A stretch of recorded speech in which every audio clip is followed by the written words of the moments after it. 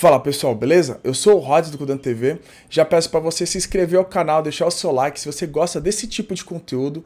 Compartilhe com seus amigos para ver se ajuda ali a tirar alguma dúvida referente ao tópico que vamos falar sobre se vale a pena ou não fazer uma graduação, pós-graduação, tirar certificações e até quem sabe fazer graduação. E é isso que a gente vai conversar hoje. Eu vou trazer um resumo para vocês, para vocês entenderem o quanto eu posso agregar para vocês.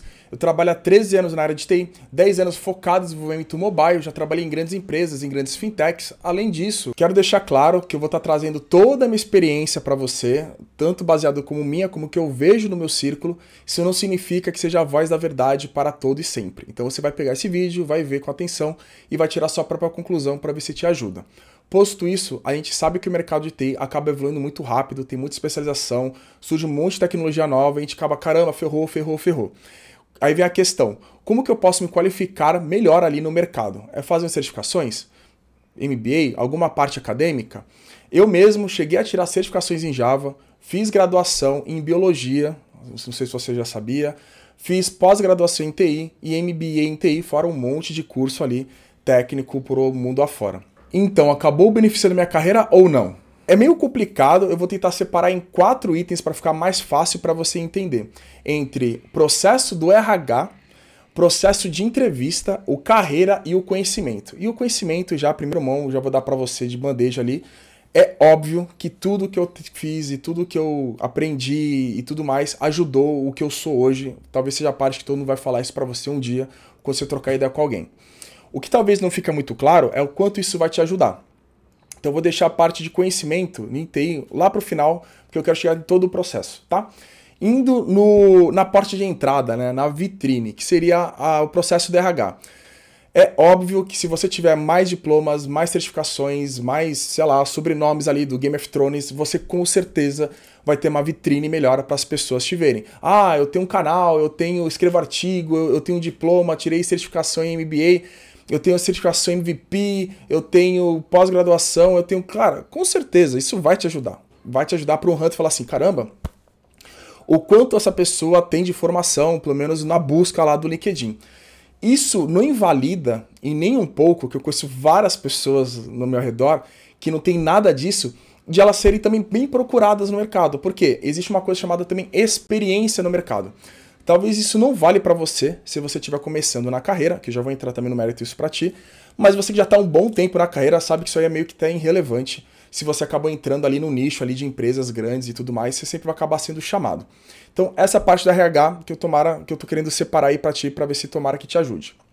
Segundo ponto, que eu acho que é um problema bem grave ali no mercado em geral, é que o processo de entrevistas ali não é tão. É, é, é quer dizer, não sei se é tão grave assim, pra verdade, mas eles não estão pouco se lixando o que você fez, modo de dizer. Eles querem saber o que você sabe. Eu acho isso justo. Eu também, às vezes, nunca pergunto ali, raramente pergunto numa entrevista, pô, você tem MBA?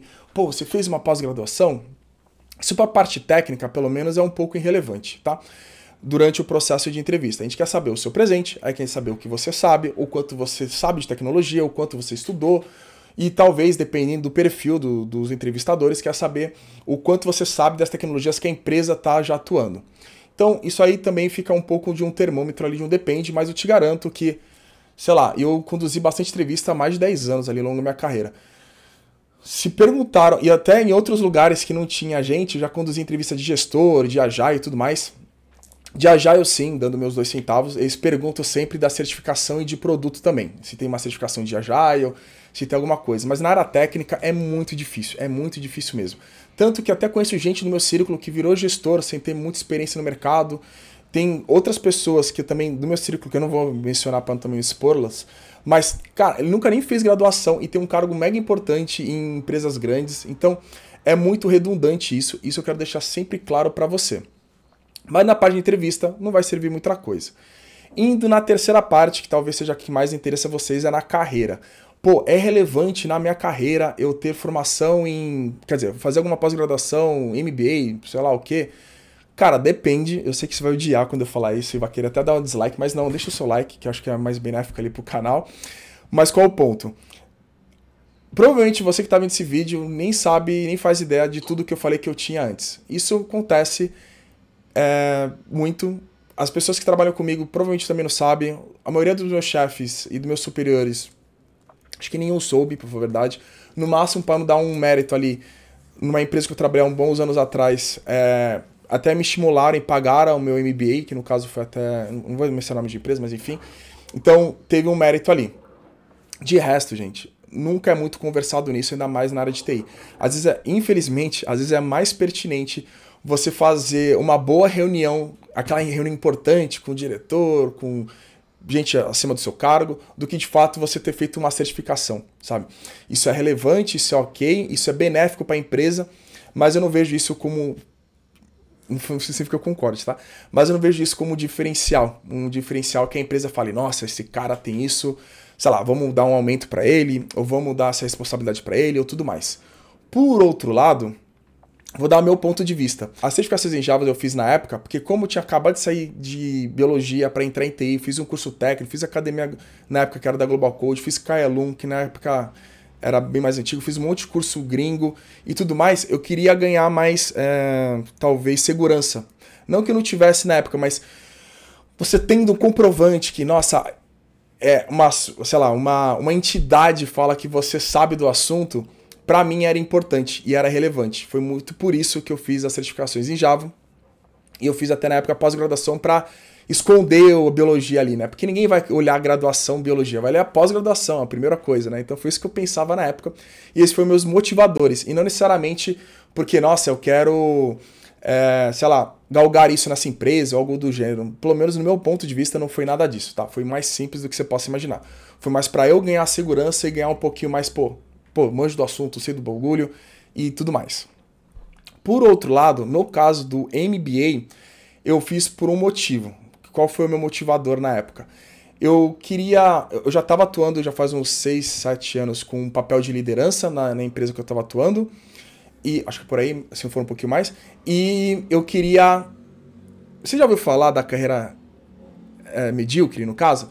Você tá com aquele cargo X, você é o topo daquele cargo, aí você foi promovido. Aí você não tá tão preparado para aquele. Você virou um cargo, uma pessoa medíocre que você era muito boa e outra coisa você tá fazendo. Depois, se você quer saber como que eu imagino isso e como eu tenho essa teoria sobre isso, com baseado em propriedade, obviamente, deixe nos comentários que eu explico. Mas qual é o meu receio? Pô, você é um líder meio medíocre. Não falando que, não falando que às vezes você não é ou não vai ser. Mas eu tentei na época, fiz curso de oratória, expressão verbal, fiz MBA, fiz um monte de outra coisa para tentar estar tá um pouquinho mais preparado para, enfim, para o que estava por vir, né? Então, no meu caso também foi um preparamento pessoal. Isso não significa que a empresa estimulou ou hoje estimula as coisas. Nada disso, tá? Isso eu não vejo isso acontecendo. Aí entra nos quarto cenário, que é, é negligente falar que tudo isso não beneficia de alguma forma. Então é um ponto que eu trago como reflexão para ti. Você precisa de formação, de graduação? Graduação talvez até precise, porque o pessoal do RH acaba sendo mais chatinho. Mas eu conheço muita gente que ganha muito dinheiro e está muito bem sucedida nos trabalhos que atuam, são super competentes. Tudo bem que eu vou trazer umas características que, na minha percepção, é o que acaba estimulando, mas eles não têm nada e eles conseguem ter carreira, são muito bons, são excelentes, para falar a verdade, no que fazem e tá tudo bem. E tem gente que pode não ter experiência e pode ter um cargo de gestor e tá tudo bem. Vai ter o, o cargo de, sei lá, de tech lead, tá tudo bem. Existe empresa para tudo que é possibilidade e muitas vezes, dependendo que empresa você quer, os processos seletivos são um pouquinho mais densos. Ou quando você quer deixar denso, o RH reclama que muita gente foge, né? E como a gente está numa bolha ainda um pouco ali, que foi um pouco estourada, mas ainda é uma bolha, acaba a empresa acaba cedendo para poder pegar mais colaboradores e não fazendo processo seletivo tão pesado, então também acaba passando essas coisas. Então o que eu quero dizer para ti é que existe caminho sim, você pode fazer tudo isso sem precisar de nada. Por outro lado, falar que isso não beneficiou, ou isso não me ajudou na minha carreira ou não ajudou outras pessoas, cara, seria, sei lá, tolice eu falar isso. Agora, não significa que eu vou saber mais do que o outro. Como o contexto é importante, também existe essa, esse depende no meio do caminho. Mas que provavelmente uma parte acadêmica exige um pouco mais de propriedade, exige um pouco mais que você busque atrás das informações, exige um pouco mais de análise, não só de executar. Isso eu acho que acaba beneficiando muito e acaba você acaba se toda hora criando.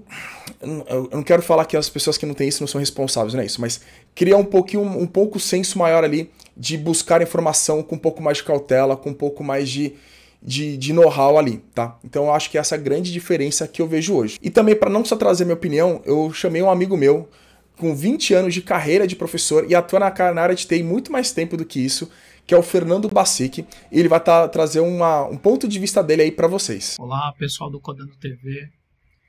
Ah, eu sou Fernando Bacic, eu fui professor durante 15 anos e venho aqui dar um testemunho, não só como profissional, mas também como acadêmico, sobre por que a gente deve fazer ou não uma graduação, ok? É, eu vejo muitos pontos positivos, como por exemplo a gente abrir o, o número de opções de oferta dentro da nossa carreira, por exemplo, concursos, uma, uma área acadêmica também. Então, sem, sem uma graduação, essas coisas não são possíveis em, em muitas situações, ok? A, a graduação também é muito válida no sentido de a gente estar tá em contato com várias áreas durante o curso, ok? Área de redes, área de banco de dados, área de programação, área de análise, área de gestão de projetos também. Então, são muitas áreas que tornam bastante interessante e bastante uh, prática parte da, de, de, envolvimento com a tecnologia, ok? Isso faz muito sentido quando a gente não, não tem nenhum contato ainda, ok? Uh, outro ponto muito positivo é você desenvolver o teu network de uma maneira inicial. Você precisa estar tá em, em, em, contato com pessoas do meio e ali você vai estar tá desenvolvendo de, do zero o teu contato, ok? Então é extremamente válido a gente conseguir construir isso dentro do, do ambiente acadêmico, perfeito? Uh, acho que é isso. Um grande abraço e fiquem bem. Obrigado, Rodrigo, pelo convite. Um grande abraço. Conhecimento. Contudo, entretanto, todavia, tecnologia muda muito e muita coisa vem, muita coisa vai. O que significa isso? Na parte acadêmica, eu, eu, vejo vários relatos, né? Pelo menos das pessoas do meu círculo, eu já fiz isso há muito tempo, então as pessoas mais atuais têm feito e têm falado que as grades são muito atualizadas e é muito antigo tudo, não tem como. É difícil acompanhar mesmo. Há dois anos atrás está falando de Flutter. Flutter não acabou, tá, gente? Vai ter Flutter ainda, calma. Agora já tem KMP, pode ser que daqui dois anos tenha outro. Pô, é difícil alguma coisa acompanhar. Pode, se tu faz uma faculdade de quatro anos, no meio do, do, do, do seu curso da, da graduação, já vai mudar o conteúdo no meio? Puta, é muito difícil. Então, um ponto que eu acho que é determinante, que tudo que eu falei para você, tomara que tenha entendido, ou consigo passar a informação para ti, eu acho que é pertinente tu ter a graduação pelo conjunto da obra. Mas o que vai determinar o que é o checkmate ali é o quanto você sabe e quanto você tem propriedade daquele assunto. Por exemplo, o Flutter tem pouco tempo ali, beleza. Agora tem KMP, aí daqui a pouco tem outro. Mano, não importa. Eu posso ter mestrado, pós-graduado, não importa quem seja que tenha tudo isso. Se aquela empresa está atuando com Flutter, por exemplo, e você não estudou Flutter porque você ficou numa parte mais acadêmica ou focou em certificações e tua empresa atua com isso, mano, é importante você ter que saber Flutter e deixa de lado a parte acadêmica. Não tô querendo te bagunçar o coreto e bagunçar a sua mente, eu só quero dizer que a parte pertinente, que é o que vai determinar o seu emprego, é o que você está atuando na sua empresa. O que paga suas contas? Paga nas minhas contas eu saber sobre, sei lá, Java. Cara, estuda Java. Ah, mas eu quero fazer um MBA sobre, sei lá, sobre análise de segurança de ataque de alguma coisa. Pode ser, é benéfico, claro que vai ser benéfico. Como não vai ser? Porém, a parte que é determinante sempre vai ser a parte técnica ali. E a, quando eu falo técnica, eu não estou falando só de, de desenvolvedor, não, tá? Eu vejo muitos gestores também não se especializando mais, não se aproximando, não se aproximando com conteúdo, né? Não se evoluindo junto, né? Ainda na área industrial muitas vezes. Então isso serve para todo mundo. O conteúdo ainda e o contexto é o que determina para mim, minha opinião, tá? Sei que nem todo mundo vai enxergar isso, nem todo mundo vai ver isso, mas isso é o que eu tento procurar quando eu tento contratar alguém, entrevistar alguém, quando eu vejo de trocar uma ideia com alguém é o determinante. E eu raramente pergunto se a pessoa tem MBA, certificações, whatever. Eu tenho e para mim ninguém pouco se importou com isso. Não falando que eu pouco me importo se você tem, né? Pelo amor de Deus. Mas eu tô falando que não teve muito impacto na minha carreira. Então, é a dica que eu dou para você. Por outro lado, é importante sim, se você quiser ganhar, querer ganhar confiança, ganhar um pouco mais de know-how ali, um pouco mais de é, busca para informação, entender como funcionam algumas coisas, eu acho que é pertinente de qualquer forma. Beleza? Bom, tomara que tenha te ajudado um pouco a esse vídeo. Se você quiser saber mais sobre esse tema, deixa nos comentários, eu consigo falar bastante coisa sobre o assunto. Eu tenho bastante gente no meu círculo com bastante experiência. Também não só que eu possa trazer eles, mas também minha mesmo, que eu posso trazer muito mais. É que eu não queria deixar esse vídeo muito longo aí para você. Beleza? Então, se você tá aqui comigo, que significa que você gostou de alguma forma, não esquece de se inscrever no canal e deixar seu like. E valeu!